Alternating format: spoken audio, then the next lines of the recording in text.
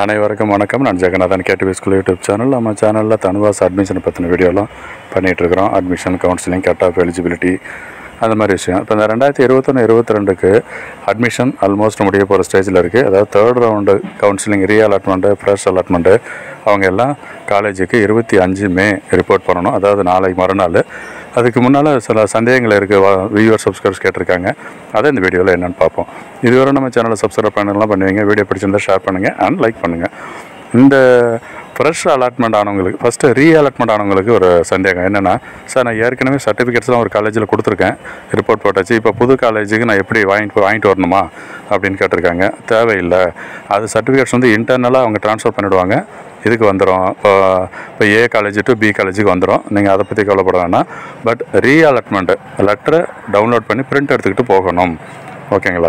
இது ஒரு கேள்வி. ரீ அலாட்மெண்ட் ஆனவங்களுக்கு. அப்புறம் ஃபீஸ் கட்டிட்டோம். ஃபர்தராக ஏதாவது ஃபீஸ் இருக்குமா அப்படின்னு கேட்டால் காலேஜ் ரிப்போர்ட் பண்ணி ஏற்கனவே எப்படி ஃபீஸ் கட்டிருக்கீங்களோ அது முடிஞ்சது இருக்குது இந்த ஃப்ரெஷ் அலாட்மெண்ட் அது மீன் ரீ அலாட்மெண்ட்டுக்குன்னு தனியாக ஃபீஸ் கிடையாது. மேற்கொண்டு ஹாஸ்டல் ஃபீஸு இந்த மாதிரி டீட்டெயிலாக இருந்தால் நீங்கள் பே பண்ணுற மாதிரி இருக்கும். அடுத்ததாக அந்த ஃப்ரெஷ் அலாட்மெண்ட் ஆயிருக்காங்க இல்லையா தேர்ட் ரவுண்டில் அவங்களுக்கு இந்த ஒரிஜினல் சர்டிஃபிகேட்ஸ் கம்பல்சரி எடுத்துகிட்டு போகணும். பார்த்துக்குங்க. கம் ஒரிஜினல் சர்டிஃபிகேட்ஸு அப்புறம் டாக்குமெண்ட்ஸு இந்த அலாட்மெண்ட் லெட்டரு எடுத்துக்கிட்டு போனீங்கன்னா அந்த ரிப்போர்ட்டிங் பொழுது அதுதான் அட்மிஷன் ப்ராசஸ்ஸு அந்த இருபதாயிரம் கட்ட சொல்லியிருக்காங்க. ப்ளஸ் ஃபீஸ் எவ்வளவோ மற்ற ஃபீஸும் எல்லாத்தையும் ஒரே நாளில் கட்டுற மாதிரி இருக்கும். ஸோ இதுதான் வந்து ஃபீஸ் டீட்டெயில் ஃப்ரெஷ் அலாட்மெண்ட்டுக்கு ரீ அலாட்மெண்ட்டுக்கு என்ன நடக்குதுன்னு சொல்லி. அடுத்ததாக சப்போஸ் சர்டிஃபிகேட்ஸ் ஒன்று ரெண்டு என்கிட்ட ஒரிஜினல் இல்லை சார் நான் என்ன பண்ணுறது ஃபார் எக்ஸாம்பிள் ஒரு நேட்டிவிட்டி சர்டிஃபிகேட்டில் இல்லைனா அந்த ஃபஸ்ட்டு கிராஜுவேட் இல்லை ஆர் எனி கம்யூனிட்டி சர்டிஃபிகேட் இல்லை அப்படிலாம் ஒரு இஷ்யூ இருந்துச்சுன்னா அதுக்கு ஒரு டைம் கொடுப்பாங்க நீங்கள் கேட்டு வாங்குங்க. நிச்சயம் கொடுப்பாங்க.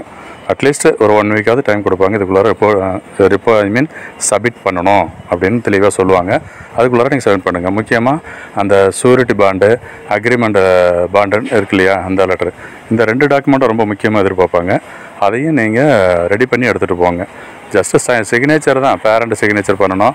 அண்ட் சூரிட்டியில் ஒரு கேரண்டர் சைன் பண்ணணும். அக்ரிமெண்ட் ஃபார்மில் பேரண்ட்டு ஸ்டூடெண்ட்டு பண்ணால் போதும். ஷூரிட்டி பாண்டில் உங்களுக்கு கேரண்டர் கொடுக்குறவர் ஒருத்தர் பண்ணணும் இருக்குது அதையும் பா படித்து பார்த்துட்டு யார் என்னன்றதை தெரிஞ்சுக்கங்க. ஸோ இப்போ இந்த டேட்டி டீட்டெயில் வந்து சந்தேகங்கள் இருந்ததுனால சொல்லியிருக்கேன். தொடர்ந்து நம்ம சேனலில் அப்டேட்லாம் தெரிஞ்சுக்கணுன்னா சப்ஸ்கிரைப் பண்ணி வைங்க. வீடியோ பிடிச்சிருந்தா ஷேர் பண்ணுங்கள் அண்ட் லைக் பண்ணுங்கள் தேங்க்யூ ஃபார் வாட்சிங் கேடிவி ஸ்கூல்